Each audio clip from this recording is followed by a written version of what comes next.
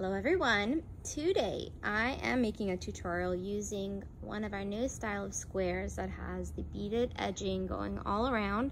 It is Turkish cotton, but it has like these fun details around the edges, comes in a couple colors, and I'm using the Boubou Tivi shaper in blonde. This is the low volume shaper. I did put some of the stuffing on the inside, and I wanted to make just like a simple, easy tutorial but that will show the beaded edges. So what I'm gonna be doing is I am folding it underneath itself a little bit, like so.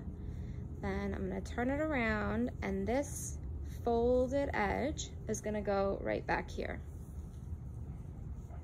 So we're taking it all the way to the back. Then I'm gonna take this piece, this middle portion, and I'm gonna fold it right underneath itself. Maybe like right before the velvet starts, this is where it should be laying. Then we're gonna hold these two tails taut, but not too tightly. And we're gonna bring them up and make a knot.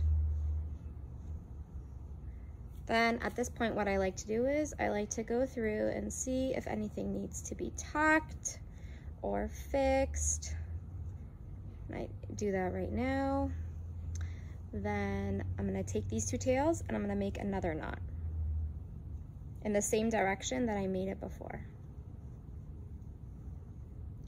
Here we go, just like a loose knot, shows the beadwork. I'm gonna push my shaper back a little bit. Then, um, this is my left side. So the portion that came out on the left, I'm gonna take it back and I'm gonna tuck it right here, but what I'm gonna do is I'm gonna leave some of the beading out, like so. And I'm gonna do the same thing with this side. Bring it over, leave some of the beading out, and tack it right here.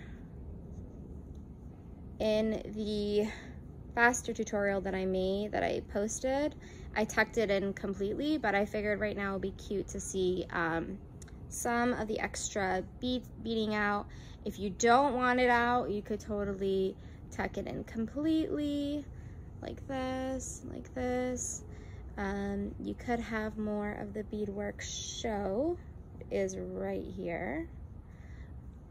And this side also, so it's really easy to work with. Cotton is really thin as usual, you know how Turkish cotton is.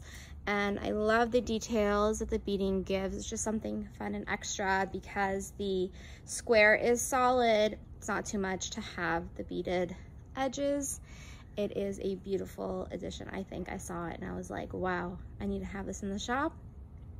I hope you enjoyed this and um, yeah, I'll link all of the colors below if you want to see more of them.